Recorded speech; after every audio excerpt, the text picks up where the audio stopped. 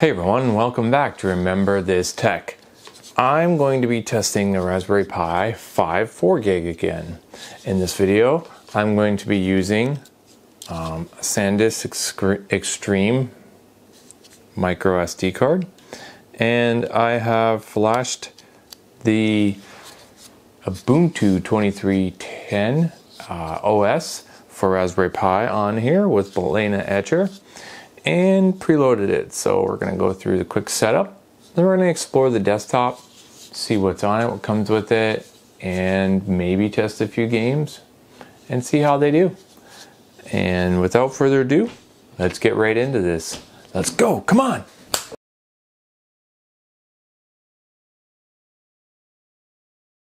So the initial setup is started and it's generally the same no matter what you do for the setup for Ubuntu. Choose your language, choose your keyboard setup, connect to some uh, Wi-Fi if you want. If you are connected to the internet then you are, you know, feel free to go ahead and connect that as well at this time you're doing it. For this initial setup, I'm hardwiring it into the Ethernet port, gigabit Ethernet. If it needs to pull down downloads, then we're going to be able to do it fast. And uh, I'm to choose a password here. Standard setup, you know. I just think that the Ubuntu distribution from Ubuntu for Raspberry Pi might be a lot better because typically in the past they have been more well-rounded and more feature filled. I mean, that setup, you know, in configuration. So let's log in. All right, it gives the option to connect your online accounts. That's interesting. That's cool, I guess. Um, send information. No, not really. So look at this. Um, App Center to install cool applications. Yes, I want to install games. Yes. You know, I jumped right into the apps. Why not? Uh, so we want to go right to the games. I didn't have great luck playing like Warzone or OpenRA on the Orange Pi 5, and I know that's a powerful machine, but can I play it here? I mean, maybe. I mean, and you know, I tried OpenRA, which is Red Alert, and I tried to do it before, but it wasn't working, couldn't work. So let's give those two a try. And let's look around here. There's some Xonotic. Can can we play that? Can we install it? I mean, it's hard to say. Usually it was like a bigger pain in the butt to install it on Orange Pi, but maybe this will let me. Maybe it will. Maybe this version's compiled since it was published on October fifteenth, twenty twenty three. Maybe it's compiled and installed easier. So let's do that. So let's give it a bit let's let it go ahead and uh, download those. But let's take a look at what comes pre-installed uh, with our system. We have Firefox and the Thunderbird Mail. You got your file system browser here, which is, you know, standard. All your stuff at a quick glance. Documents, music, pictures. LibreOffice. So you got what would appear to be a full office suite, hopefully. And those are just like your quick links and there's your trash can. And then your app center. You see you got like multiple desktops here. So what we have is your calendar, some solitaire, drivers in case things aren't quite tweaked or you need to set that up. Calculator, looks like a LibreOffice, LibreOffice. Oh yeah, well, I think it is.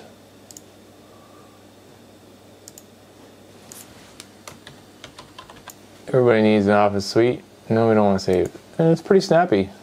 What else? System monitor. Let's see what the system's doing.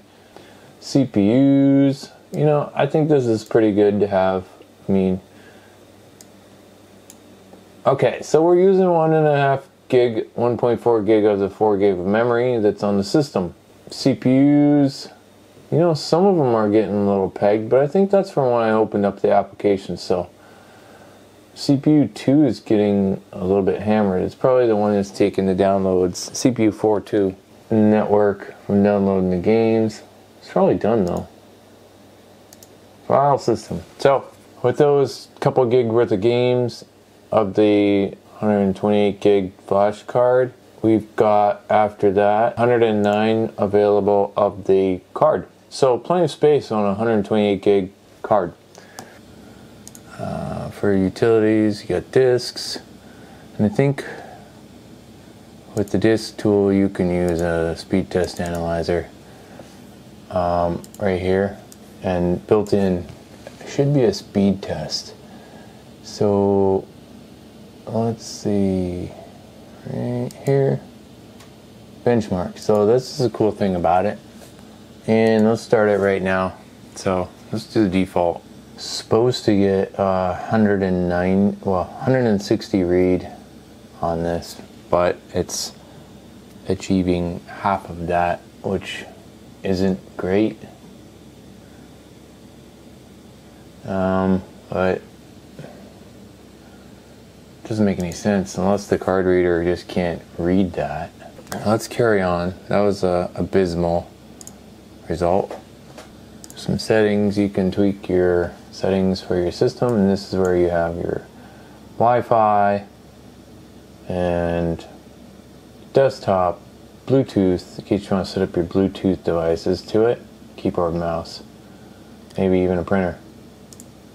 Apps, another section you can uh, do your files and apps, and set your time and date. And let's carry on. We won't take too much of this time, but as you can see, the games all six games are already installed. The internet connection is blazing fast on this little device. Software updates. Always run this if you have to because you should do that before you go ahead and do updates, games, whatever. Just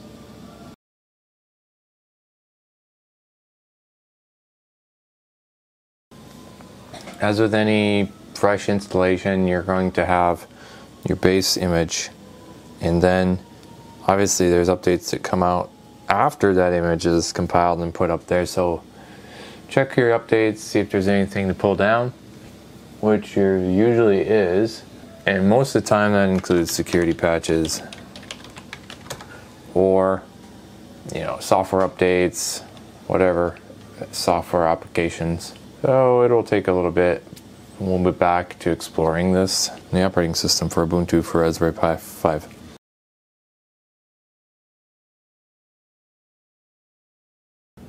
Well, see if we can actually play the game. It seems like a janky kind of mouse. The little heatsink on the uh, Raspberry Pi 5 is getting pretty hot. Uh, I don't know what is going on, but I think I gotta dump this thing and start it over again. Uh, CPUs are all pegged, maxed. It's using 3 gig of the system memory, but it's fine because we got overhead. Game's kind of locked up, so I think we're gonna have to kill it. And let's try launching it one more time. I, I am assuming that there's going to be some tweaks we can do with the CPU, maybe some overclocking. But what really irritates me is it ran great on the Orange Pi 5 maybe that was well, after I tweaked the system a bit. We're gonna try this death match in a bit here. I really don't think it's gonna work very well though, personally.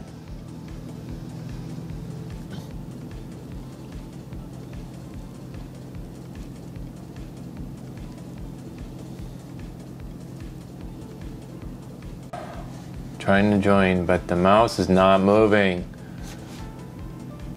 Alright, this is a slideshow. This is unplayable. I mean, how can it be this horrible? Graphics look great as a slideshow. Other than that, it's junk.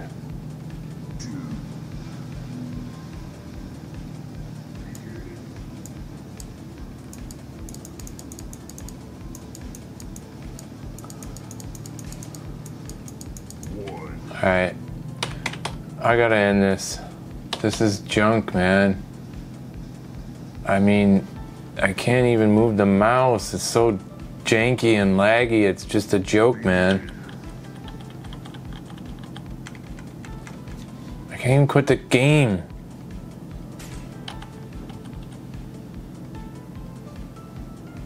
I hate it so much. This thing needs to be tweaked and optimized. I thought this thing had power. Okay, I'm going to try to install the LM sensors for the temperature, so.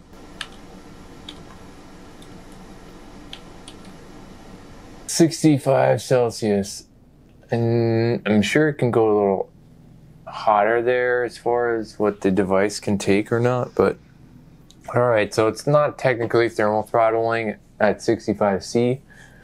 It's supposed to thermal throttle at 80. It just can't run this game, okay? It can't run this piece of junk. We're gonna take a break because this little thing is not running anything.